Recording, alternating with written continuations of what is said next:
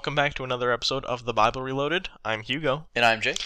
Uh, so the past couple weeks we've uh, we've covered Noah, and we did another wonderful comic from our And friends. You did your uh, your first uh, edited video, and it's getting positive feedback. Yeah, I like it. So, anyways, uh, today we're gonna do kind of the uh, epilogue to the Noah story. Uh, Finish her up. we're gonna skip o- skim over some genealogy stuff, and we're gonna get to one of our uh, more infamous stories, in our opinion. Uh, the Tower of Babel. Yeah. Which, if you don't know anything about it, you will uh, in a few short minutes. Um, but um, we equally love it and hate it. Yep. So. uh, for the same reason. So be prepared for all that. Uh, I'm glad you're all back with us. We don't say that enough.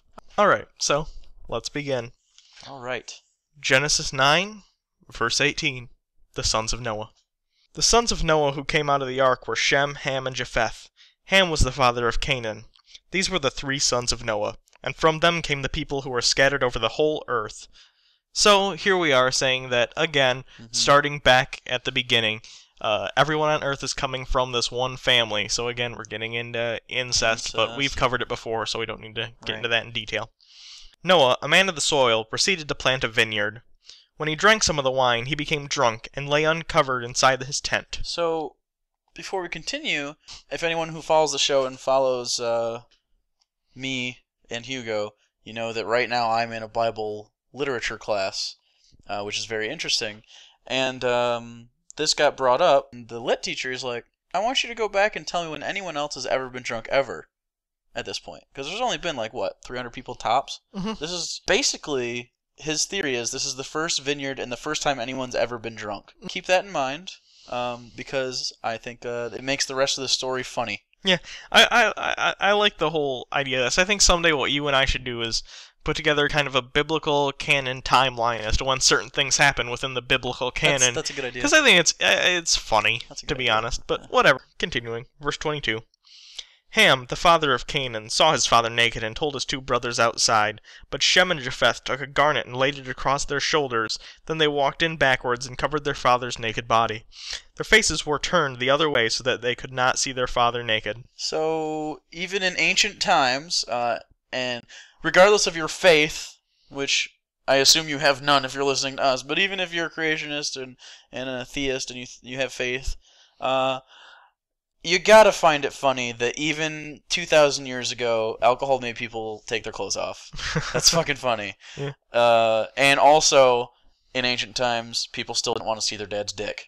yeah, Um, that's a universal truth. that is oh, and because Peace a- in the Middle East. We don't a- want to see your dad's dick. if it's since it's a Hebrew book, I'll call it a schmeckle because you like that word. I do. They don't want to see their dad schmeckle. Mm, So uh, so yeah, so uh, uncut at this point too. Just like to put a point out. Ooh, he's got a foreskin. Don't Yeah. know why you're thinking about that. But anyways, Ham saw his dad Noah naked. Goes and tells his brothers, guys, dad's naked, and they're like, well, we don't want to see that schmeckle. So they walk in backwards, cover him w- with a blanket. hmm No big deal, right? Yeah. Big Seems deal. like it. It's a big deal, actually. Yeah. Continue on. Okay. Verse 24.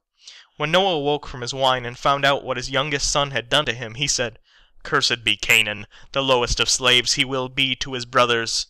He also said, Praise be the Lord, the God of Shem. May Canaan be the slave of Shem. May God extend Japheth's territory. May Japheth live in the tents of Shem. And may Canaan be the slave of Japheth. What the hell? So, uh, if, if you don't know, uh, for context, Canaan is getting cursed by Noah right here. But he didn't really have anything to do with the story. His dad is Ham, and Ham's the one that saw his dad's dick. hmm No big deal, right? The best argument I've heard for this, uh, why this happens at all, because this is confusing as fuck. Like, why is this guy getting cursed by Noah? He's drunk. Um, the only, actually, the only argument that makes sense is that for Hebrews, it was taboo to see your parents naked. I, I, I, I, guess I, that. I would I agree at least to an extent. I mean, there's not a right answer because we don't have one. But if I were to pick one, that one would at least make sense. Right. And I think they had to find a reason to vilify the Canaanites, and that's one of the ways that they came by the origins, I agree. as we're going to get to here in a second, as to what Canaan uh, becomes yes. and what that curse amounts to. Oh, And now we have to say goodbye to no people. Yeah, it's sad, but uh, verse 29 or verse 28. After the flood, Noah lived 350 years. Noah lived a total of 950 years, and then he died. Funny though, earlier, as we mentioned, uh, God put a cap on that at 120, but that got disregarded pretty darn quick. Yeah, and uh, beyond that, I've read ahead. Rarely does someone come on underneath that cap. I know, I, I don't It's know what's up with that weird, weird. editing issue. But okay, this next part, uh, Genesis 10. Gonna Again, it's genealogy. We're gonna we're gonna quickly skim over this one as opposed to just skip it because there are some points we do want to cover as far as the content. Right. If we do, if you think we skipped something important, bring it to our attention. We'll hit you up in a probably a pocket edition where we say we were wrong and read something funny. um, so go ahead uh, and let's uh, let's cover some of the things that you wanted to cover with this. Okay, so as we mentioned before, the, a lot of the stories in the Bible, especially the Old Testament, Mhm. are kind of metaphorical. They're supposed to represent things. Right. Here is where we get the various tribes and cities and uh, various conquests from Yeah. later in the Bible. It's saying that they all came from these people. Right. So the most interesting part of the this genealogy is uh, the the Hamites, uh, which is uh, all the sons of Ham, which is the one that uh, got cursed. Um, well, he saw his dad's penis, so his son Canaan got cursed. Mhm. Um, This plays into the whole idea of inheriting your parents' uh, Sin, sins. Yeah. Um, and it's interesting uh, because Ham's first, uh, his his four sons are named Cush, Egypt, Put, and Canaan. And uh, for anyone who has picked up a history book, you recognize at least three of those names. Yeah. Uh, Even Cush- any even any layman knows at least the one Egypt. Right. So Cush, Egypt, and Canaan. Those are all places that we have known. Yes. um, and two of them still to the day, uh, Cush and Egypt. Uh, so it's very interesting um, to know that in the Bible, that's how they um, reconcile where places got their names from. Yes. is by sons of So prominent presumably- patriarchs in the Bible. Yeah. So presumably the son Egypt then went and set up his own Right. uh maybe small community and that grew into what we know as Egypt. Obviously we know a lot about Egypt now historically and that's just not true. Right. But again, we're speaking within the canon here. And also, interesting side note Cush was the father of Nimrod, who became a mighty warrior on earth. Uh, if you ever heard about Nimrod, uh, that's an interesting note. We're not going to go into it, but just uh, maybe just look it up. Yeah. All right. So uh, I think that's going to be it for for 10. We skimmed over that. If you want to read it yourself, but uh, we're we're going to we're going to gloss over the uh, the genealogies because we did all the genealogies. A, we'd lose a bunch of listeners, and B, we'd be here for years. And also, we'd hate our lives. Yeah. Because they're fucking really boring. Yeah, we don't get paid for this. At least if we're going to do it, we should have fun. Yep. As opposed to doing what we normally do when reading a verse, commenting, reading a verse, commenting, I'm going to read you this entire section because it's shorter, and then we're going to summarize, and then we're going to comment from there. So, sit back for a second and, Yeah. uh, And listen to the soothing voice of Hugo as he recites a beautiful Hebrew story. And also, be ready to hate the shit out of this. Yeah.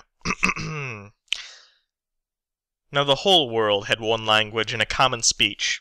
As people moved eastward, they found a plain in Shinar and settled there. They said to each other, Come, let's make bricks and bake them thoroughly. They used brick instead of stone, and tar for mortar. Then they said, Come, let us build ourselves a city with a tower that reaches to the heavens, so that we may make a name for ourselves. Otherwise we will be scattered over the face of the whole earth. But the Lord came down to see the city and the tower the people were building. The Lord said, If as one people speaking the same language they have begun to do this, then nothing they plan to do will be impossible for them.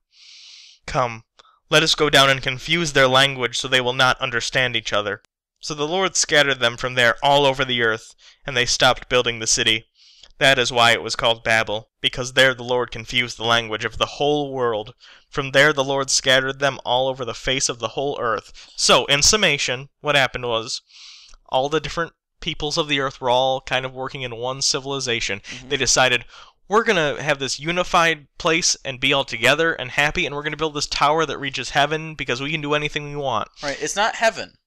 It's the heavens. It's the heavens, yes, It's correct. they're not. A lot of people think they're trying to reach God's domain. house or domain. Yeah, and they didn't go even- to heaven. they They, didn't- don't mean to go to heaven. No, at this time they didn't have an idea of heaven in the Right. Jewish faith, anyways. it was Sheol, which Yeah. is uh, netherworld, basically like Hades of Greek mythology. Yeah, but that evolved over time, but we're Right. not getting into that right now. Right. Anyways, um, so the Lord looks down on this, uh, what we would today call a utopian society of people Absolutely. working together and building this huge tower, at least Right. huge by their standards, and saying, uh oh, it even says, working together they can do whatever they want. I better go scramble their language. Right. It. Uh, they have begun to do this. Then nothing they plan to do will be impossible for them. Yeah. That is such a good comment on humanity. I mean, they're taking it the wrong direction, in my opinion. I mean, Yeah. they're totally saying like we need to stop human progress. Mhm. But what a beautiful, just a sentence Yeah. describing humanity and our capabilities. This is, in my opinion, the Tower of Babel is a beautiful metaphor for the entirety of the Dark Ages. No, I, I agree, and the thing that separates them is God, religion, Right. and uh, he separates their language. And in the Bible, this is where different languages come from. Of course, that's Right. silly if you know anything about linguistics or history in general. It doesn't really make sense. But uh, I just, it upsets me a lot. Here's a few reasons. One being, let's look at the motive. They're building a tower to the heavens. So supposedly, in the eyes of whoever wrote this, probably the tallest tower he could imagine. Right. But then look at the modern world and how it works. Look at all the buildings we can build Vertical driven The entire- the entire Apollo program, but that's fine. And I, I, I it seems silly, and people will comment on this endlessly as they always do. Well, why even bothering? People don't take this literally. It's great if you don't know people who take it literally. Some people take this literally. My mom takes this literally. I've Right. discussed this specific story with her. She sides with God and says, no, it's cool, and believes this literally happened, and this is how language happened. So don't tell me it's a waste of time talking about this, because people do believe this, one way or another. Uh, two, think how despicable this has to be for God to be like, uh oh, they're going to accomplish anything they want, and then to and then to fiendishly like Snidely Whiplash decide we better we better stop them. And another thing, it it uh it's basically just a jealous god that doesn't want to be supplanted by his creations. Where they don't need God. They can do anything they want. Mm-hmm. And God's like, "No, we can't have that. They I need them to need me." Yeah. It's, you know, it's shitty. Thanks for all that racial uh Right. racial problems that you're giving Yeah. us. You're going by the canon of the Bible. Blame God for that. Not even Lex Luthor or Darth Vader would have hoped for such villainous consequences. So yeah, a rather short episode today. Um, Yeah, but well, uh, we feel like we chocked it full of quality. Well, No, but what- it- what's going to happen is we're gonna we're gonna be jumping into Abraham. Yeah. Uh, and we don't want to split that up. Yeah, lo- this is just logically how it how it gets broken up. So Yeah. you'll have to live without us out our long one for another week. Yeah, So, anyways, she said. uh, I think that'll do it. So, thanks everyone. You can share us on Facebook, Twitter, Reddit, StumbleUpon anything you want. Uh, please tell your friends about us, enjoy us, like us, subscribe, do what you gotta do. Mhm. Until next time, I'm Hugo, And I'm Jake. and this has been another episode of The Bible Reloaded. Science Plus.